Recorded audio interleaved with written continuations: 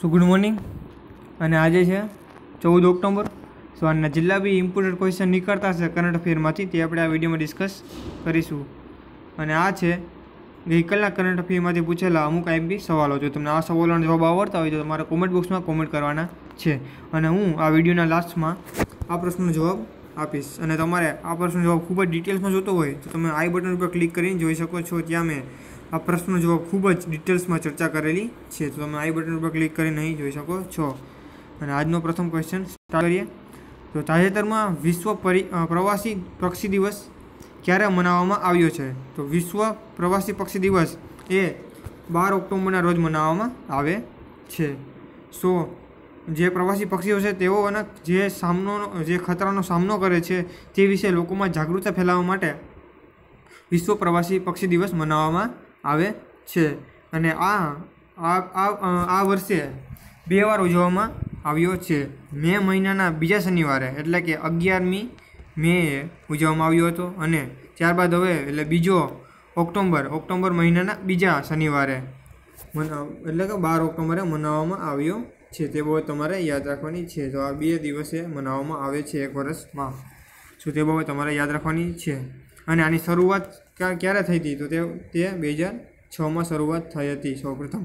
તો તે બાબત તમારે યાદ રાખવાની છે. અને આ વખતની થીમ શું છે? તો protect birds be the solution to plastic pollution તે બાબત તે બાબત તમારે યાદ રાખવાની છે. સો ઇમ્પોર્ટન્ટ આપણા ઓક્ટોબર મહિનાની ઇમ્પોર્ટન્ટ ડેટ જોઈ રહ્યા છે. તો એકવાર ચર્ચા કરી લઈએ બધી. સો ફર્સ્ટ ઓક્ટોબરે શું હતું? એ તો ઇન્ટરનેશનલ કોફી ડે અને વર્લ્ડ વિઝિટ ડે હતો તે બહુ તમને યાદ છે અને તે ઉપરાંત આ પણ તમને ખ્યાલ છે બે ઓક્ટોબરે ગાંધી જયંતિ અને international day of non violence હતું. તે ઉપરાંત લાલ બહાદુર શાસ્ત્રીનો પણ જન્મદિવસ હતો. પણ તમારે યાદ રાખવાની છે. ત્યારબાદ ચાર ઓક્ટોબરે world world animal welfare welfare day હતો. ત્યારબાદ પાંચ ઓક્ટોબરે વર્લ્ડ ટીચર્સ ડે અને આપણો રાષ્ટ્રીય ટીચર્સ ડે પૂછે તો પાંચ સપ્ટેમ્બર આવશે. ત્યારબાદ સાત ઓક્ટોબર એટલે વર્લ્ડ કોટન ડે જે આ વખત પહેલી વાર મનાવવામાં આવ્યો છે, સાત ઓક્ટોબરે. સો તે બહુ તમારે યાદ રાખવું છે વર્લ્ડ કોટન ડે અને વર્લ્ડ હેબિટેટ ડે પણ બંને સાત ઓક્ટોબરે હતા. ત્યારબાદ નવ ઓક્ટોબરે વર્લ્ડ પોસ્ટ ડે ત્યારબાદ દસ ઓક્ટોબરે વર્લ્ડ મેન્ટલ હેલ્થ ડે અને અગિયાર ઓક્ટોબરે international day of the child girl child અને બાર ઓક્ટોબરે, એટલે કે આજે, એટલે કે આપણે ચર્ચા કરીએ છીએ વર્લ્ડ મેગ્રેટરી બર્થ ડે તેવો તમારે યાદ રાખવાની છે. શું સાહેબ નેક્સ્ટ ક્વેશ્ચન જોઈએ. તાજેતરમાં ગુજરાતમાં કયા બે સ્થળે વચ્ચે વિશ્વની સૌથી મોટી યાત્રા યોજાઈ વર્લ્ડ રેકોર્ડ થયો છે? આ આ ઇમ્પોર્ટન્ટ ક્વેશ્ચન નીકળે છે ગુજરાત ગવર્મેન્ટની એક્ઝામ તરફથી. તો ગુજરાતમાં હમણાં તાજેતરમાં બે સ્થળ વચ્ચે વિશ્વની સૌથી મોટી યાત્રા યોજાઈ છે. જેમાં, તેનો વર્લ્ડ રેકોર્ડ પણ નોંધાયો છે. તે બાબત તમારે યાદ રાખવાની છે. તો તે છે દ્વારકાથી ભાલકા તીર્થ, જ્યાં કૃષ્ણ ભગવાનનો જન્મ થયો અને જ્યાં તેઓએ અંતિમ શ્વાસ લીધા કે ભાલકા તીર્થ સુધી જન્મ જન્મ તો નહીં, પણ તેઓ ત્યાં સ્થાનાંતર થયા હતા ગુજરાતમાં. ત્યારબાદ તેમનો જ્યાં અંતિમ શ્વાસ લીધો એટલે કે ભાલકા તીર્થ સુધી સૌથી મોટી યાત્રા યોજાઈ હતી વિશ્વની. તેનો વર્લ્ડ રેકોર્ડ પણ નોંધાયો છે. સો આ યાત્રામાં, આ યાત્રા શેના અંતર્ગત હતી તો સુવર્ણ શિખર ધર્મ ધ્વજા.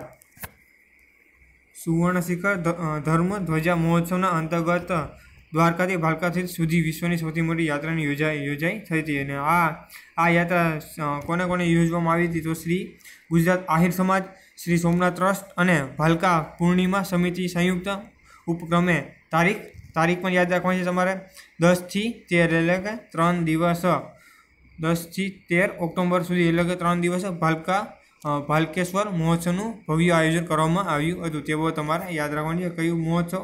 ભાલકેશ્વર મહોત્સવ. સો આ ત્રણસો ને દસ કિલોમીટર અંતર કાપીને કૃષ્ણ ભગવાન જ્યાં દેહનો ત્યાગ કર્યો કે તે સ્થળે ભાલકા પહોંચી હતી. આ આ દેશત્રા દેહનો ત્યાગ ક્યાં કર્યો તે બહુ તમારે યાદ રાખવું છે ભાલકા સ્થિત આવે છે. આ યાત્રામાં વર્લ્ડ રેકોર્ડ નોંધાયો છે શેનો શેનો? તો સૌથી મોટી યાત્રા એટલે કે આ યાત્રામાં ત્રણ હજાર આઠસો અગિયાર બાઇક હતી. તે ઉપરાંત અગિયારસો અઠ્ઠાણું ફોર વ્હીલ હતી. તે બહુ તમારે યાદ રાખવાની છે. સો આનો વર્લ્ડ રેકોર્ડ પણ નોંધાયો છે. સો ત્યારબાદ નેક્સ્ટ ક્વેશ્ચન જોઈએ. અને હા મિત્રો, તમારા અમારા વીડિયો થોડો બી બેનિફિટ થતો હોય તો વિડીયોને અમારા ચેનલને સબસ્ક્રાઈબ જરૂર કરશો અને વિડીયોને લાઇક કરો. ત્યારબાદ નેક્સ્ટ ક્વેશ્ચન જોઈએ. તાજેતરમાં જાહેર કરેલા ફોર્બ્સ ઇન્ડિયા રિચેસ્ટ લિસ્ટમાં પ્રથમ ક્રમે કોણ છે? તમારા, તમને ખ્યાલ જ હશે કદાચ તો. મુકેશ અંબાણીએ પ્રથમ ક્રમે છે ફોર્બ્સની ઇન્ડિયન રિચેસ્ટ લિસ્ટમાં સો અહીં તમે જોઈ રહ્યા છો, મુકેશ અંબાણી, તેઓ રિલાયન્સ ઇન્ડસ્ટ્રીના લિમિટેડના માલિક છે. તેઓ તમને યાદ રહે, તો તમને ખબર જ હશે. ત્યારબાદ ફોર્બ્સની સૌથી ધનિક ભારતીય લિસ્ટમાં મુકેશ અંબાણી પ્રથમ ક્રમે છે અને બીજા ક્રમે કોણ છે? તો ગૌતમ ગૌતમ અદાણી છે. તેઓ તમારે યાદ રાખવાની છે અને ત્રીજા નંબરે ઉદય ઉદય કોટક છે. પરંતુ આના પહેલાંના વર્ષે જ્યારે લિસ્ટ બહાર પાડવામાં આવ્યું હતું, ત્યારે અજીમ પ્રેમજી એ બીજા ક્રમે હતા, મુકેશ અંબાણી બાદ. પરંતુ આ વર્ષે તેઓ સત્તરમા નંબરે પહોંચી ગયા છે. આ વર્ષે તેઓ સત્તરમા નંબરે પહોંચી ગયા છે, કારણ કે તેઓએ તેમની વધારે પૂરતીની સંપત્તિ તેઓ દાન કરી દીધી છે ગરીબોને. તેથી તેઓ આ વખતે સત્તરમા ક્રમે વયા ગયા છે. અને તમે અમારા ડેલી વીડિયો જોતા હશો અફેર તો તમને ખ્યાલ હશે કે ફોપ્સે આની પહેલાં પણ ઘણી બીજી લિસ્ટ બહાર બહાર પાડેલી છે. તો તેમાંથી એક સૌથી વધારે, મને જ્યાંથી યાદ છે ત્યાંથી સૌથી વધારે કમાણી કરતાં એક્ટર અને એક્ટ્રેસની પણ બહાર પાડેલી હતી. સો, તેમાં સૌ એક્ટર્સમાં ડ્રેન જોન્સન હતો. ડ્રેન જોન્સન હતા, જે તમે રોકને, રોક રોક તરીકે જાણો છો, જે ડબલ્યુડબલ્યુએફમાં આવે છે. તે જ ડ્રેન જોન્સન હતા પ્રથમ ક્રમે અને આપણા ઇન્ડિયાના અક્ષય કુમાર તે ચોથા નંબરે હતા એ લિસ્ટમાં. સૌથી ધનિક કમાણી કરતા એક્ટરમાં. અને એક્ટ્રેસમાં જોઈએ તો તે હતા તે પણ હોલી, હોલિવૂડના જ હતા. સ્ક્રેટલર જોન્સન જોન સન્સ હતા તે. તે બાબત તમારે યાદ રાખવાની છે. તે ઉપરાંત, દુનિયાની સૌથી પ્રતિષ્ઠિત કંપનીઓની યાદી પણ બહાર પાડવામાં આવી હતી. તેમાં સૌ સૌપ્રથમ પહેલા ક્રમે હતા વિઝા. સૌપ્રથમ હતા વિઝા ત્યારબાદ હતી, આપણી જે ઓલી ગાડી આવે છે ફરારી તે કંપની હતી ફરારી અને છેલ્લે ત્રીજા નંબરે, એટલે કે એ ઇમ્પોર્ટન્ટ નીકળે છે આપણા માટે, કેમ કે તે ઇન્ડિયાની કંપની હતી કઈ? ઇન્ફોસિસ ઇન્ફોસિસ તે ત્રીજા ક્રમે હતી, તે બહુ તમારે યાદ રાખવાની છે. અને આ વિઝાની વાત આવી તો વિઝા વિઝાના બ્રાન્ડ એમ્બેસિડર આપણા બેડમિન્ટન ચેમ્પિયન પીવી સિંધુ છે, તે બહુ તમારે યાદ રાખવાની છે. તો ત્યાર બધો નેક્સ્ટ ક્વેશ્ચન જોઈએ. તાજેતરમાં કોના દ્વારા આઇકોન સેટેલાઇટ લોન્ચ કરવામાં આવ્યો છે? તો આઇકોન સેટેલાઇટ એ નાસા દ્વારા લોન્ચ કરવામાં આવ્યો છે તાજેતરમાં. સો, પૃથ્વીના જે વાયુમંડળની સીમા પૂર્ણ થાય અને અંતરિક્ષની સીમા ચાલુ થાય તેને પૃથ્વી અંતરિક્ષ સીમા કહેવામાં આવે છે. સો, તેનો અભ્યાસ જાણવા, તેની અભ્યાસ કરવા માટે, તેમાં સંશોધન કરવા માટે આ આઇકોન નામના સેટેલાઇટનું લોન્ચ કરવામાં આવી છે નાસા દ્વારા. તે બહુ તમારે યાદ રાખવાની છે. તે ઉપરાંત તો હવે નાસાની વાત આવી, તો નાસા નાસાનું ફૂલ ફોર્મ પૂછાઈ શકે છે. ઘણી વાર પૂછાઈ ગયું છે તો નાસાનું ફૂલ ફોર્મ શું થાય છે? તો કે National Aeronautic and Space Administration headquarter ક્યાં છે? વોશિંગ્ટન ડીસી યુનાઇટેડ સ્ટેટમાં ફાઉન્ડેશન છે. ઓગણત્રીસ જુલાઈ ઓગણીસો ને અઠ્ઠાવન. મિત્રો, આ ઓગણીસો અઠ્ઠાવન આપણા માટે ખૂબ ઇમ્પોર્ટન્ટ નીકળે છે. કેમ કે જેને તમારે લિંક કરવાનું છે કોની સાથે? ડીઆર ડીઆરડીઓ સાથે લિંક કરવાનું છે. ડીઆરડીઓ સાથે લિંક કરવાનું છે. કેમ કે ડીઆરડીઓની સ્થાપના પણ ઓગણીસો અઠ્ઠાવનમાં છે. તે તમારે યાદ રાખવાની છે. અને તેનો મોટો શું છે? આનો નાસાનો તો for the benefit of all તે તમારે યાદ રાખવાની છે. તો નેક્સ્ટ ક્વેશ્ચન જોઈએ. તો તાજેતરમાં વર્લ્ડ બોક્સિંગ ચેમ્પિયનશિપમાં મેરીકોમ કયા કયો મેડલ જીત્યો છે? સો તાજેતરમાં વર્લ્ડ બોક્સિંગ ચેમ્પિયનશિપ યોજાઈ હતી. તેમાં મેરીકોમે બ્રોન્ઝ મેડલ જીત્યો છે. સો તેઓએ તુર સેમીફાઇનલ પહોંચી ગયા હતા તેઓ તુર્કીના બોઝેનાઇઝ કાકીરી કાકી રોગુલનું નામે સામે હારી હારી જતા તેઓને બ્રોન્ઝ મેડલથી સંતોષ કરવો પડ્યો. જો તે જીતી જાત તો તમ, તેમને કદાચ સિલ્વર ને ત્યારબાદ જીતી જાત ફાઇનલ તો તેમને ગોલ્ડ મળત. પરંતુ તેઓને બ્રોન્ઝ મેડલથી સંતોષ કરવો પડ્યો હતો કેમ કે તેઓ સેમિફાઇનલમાં જ તુર્કીના બ્રુજેનાજ જેવું તમે જોઈ રહ્યા છો.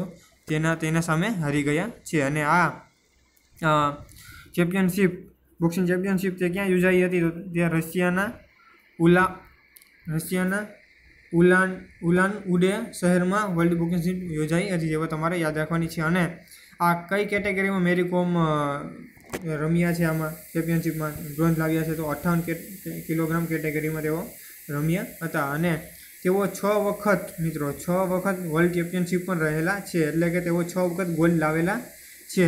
અને તેમને ટોટલ ગોલ્ડ જોઈએ તો તેના ટોટલ ગોલ્ડ આઠ છે, તે બહુ તમારે યાદ રાખવાની છે. તે ઉપરાંત આપણા ભારતના મંજુરાની જેઓ ફોર્ટી એટ કિલોગ્રામ કેટેગરીમાં ફાઇનલમાં પહોંચનારા અઢાર વર્ષના પ્રથમ ભારતીય બની ગયા છે, તે ઇમ્પોર્ટન્ટ નીકળે છે. કેમ કે કોઈ પણ વસ્તુ આપણા ઇન્ડિયામાં પ્રથમ વખત થતી હોય તો તે ઇમ્પોર્ટન્ટ છે, તે પૂછાઈ શકે છે. સો આ નામ તમારે યાદ રાખવાનું છે મંજુ રાની જેઓ ફોર્ટી એટ કિલોગ્રામ કેટેગરીમાં છે. તેઓ તમારે યાદ અને ફાઇનલમાં પહોંચનારા અઢાર વર્ષના છે. સો મંજુરા રાણી તે બાબત તમારે યાદ રાખવાની છે. સો જો તેઓ તેઓ- તેમને સિલ્વર તો મળશે જ, પણ જો તેઓ ફાઇનલ પણ જીતી જશે, તો તે ગોલ્ડ લઈને આવશે. તો તે બાબત તમારે યાદ રાખવાની છે. સો નેક્સ્ટ ક્વેશ્ચન જોઈએ. તો ન્યૂઝ ફટાફટ જોઈ લે. તાજેતરમાં માછીમારો માટે કઈ સિસ્ટમ લોન્ચ કરવામાં આવી છે? સો માછીમારો માટે જેમિની જેમિની નામની એક સિસ્ટમ લોન્ચ કરવામાં આવી છે. સો તેનાથી શું છે ને કે કાંઈ પણ જે દરિયામાં તુફાનો કે કાંઈ પણ જે માછીમારો તે ખતરામાં આવશે તો તેને જાણ કરવામાં આવશે તે સિસ્ટમ વડે. તો તેઓ તમારે યાદ રાખવાની છે અને તમે ફૂલ ફોર્મ અહીં જોઈ શકો છો. ત્યારબાદ નેક્સ્ટ ક્વેશ્ચન જોઈએ તો તાજેતરમાં ઇન્ડિયા કાર્પેટ એક્સપો ક્યાં ક્યાં શરૂ કર્યો છે તો વારાણસી એટલે કે યુપી. યુપીના અ, શરૂ કરવામાં આવ્યું છે ઇન્ડિયન કાર્પેટ એક્સપોર્ટ અને ઇન્ડિયન કાર્પેટ એક્સપોર્ટનું ફૂલ તમે જોઈ શકો છો. તો ત્યારબાદ નેક્સ્ટ ક્વેશ્ચન છે. તાજેતરમાં કોને બીજા સત્તર અઢારનો ઇન્દિરા ગાંધી એકતા પુરસ્કાર આપવામાં આવ્યો છે? સો ચંદી ચંદી પ્રસાદ ભટ્ટને જેનો તમે જોઈ રહ્યા છો. ઇમેજમાં તે છે ચંદી પ્રસાદ ભટ્ટ. તેઓ એક પર્યાવરણ કાર્યકર્તા છે અને ગાંધીવાદી પુરુષ છે. જો તેઓ, તેઓને આ પુરસ્કારથી સન્માનિત કરવામાં આવ્યા છે. તે ઉપરાંત તેઓને રેમન મેસ મેસેસે અને પદ્મભૂષણ અને ગાંધી શાંતિ પુરસ્કાર તેવા પણ પુરસ્કારો સન્માનિત કરવામાં આવ્યા છે. તો તેઓ ઇમ્પોર્ટન્ટ નીકળે છે. તે, તો તમારા યાદ રાખવાનું છે નામ? ચંદી પ્રસાદ ભટ્ટ. તે ઇમ્પોર્ટન્ટ છે. ત્યારબાદ નેક્સ્ટ ક્વેશ્ચન છે. તાજેતરમાં કઈ short film people's choice award જીત્યો છે તો સ્પિરિટ ઓફ કેરેલા તે તે ફિલ્મ શોર્ટ ફિલ્મ છે. તેઓએ વિશ્વની સૌથી મોટી કોમ્પિટિટિવ કોમ્પિટિશન છે શોર્ટ ફિલ્મનું તેમાં તેઓએ આ ખિતાબ જીતી ગયા છે. પીપલ્સ ચોઇસ એવોર્ડ જીતી ગયા છે. કઈ કઈ ફિલ્મ છે? Spirit of the spirit of the Kerala તે બહુ તમારે યાદ રાખવાની છે. તો ત્યારબાદ નેક્સ્ટ ક્વેશ્ચન જોઈએ. તો આપણે જોઈ લઈએ, ગઈકાલના કરંટમાંથી પૂછેલા એમપી સવાલો, તો તાજેતરમાં international day of the girl child ક્યારે મનાવવામાં આવ્યો હતો? તો મેં અમને, તમને કરાવ્યું છે. અગિયાર ઓક્ટોબર અને ત્યારબાદ તાજેતરમાં બે હજાર ઓગણીસ શાંતિ નોબેલ પુરસ્કાર ક્યારે કોને આપવામાં આવ્યો છે? તો છે Abiy Mohammed Ali. So thank you for watching this video અગર વીડિયો પસંદ આવ્યો હોય તો લાઇક કરો શેર કરો અને વીડિયો સબસ્ક્રાઈબ જરૂર કરશો. તમારી ચેનલને સબસ્ક્રાઈબ કરજો. Have a nice day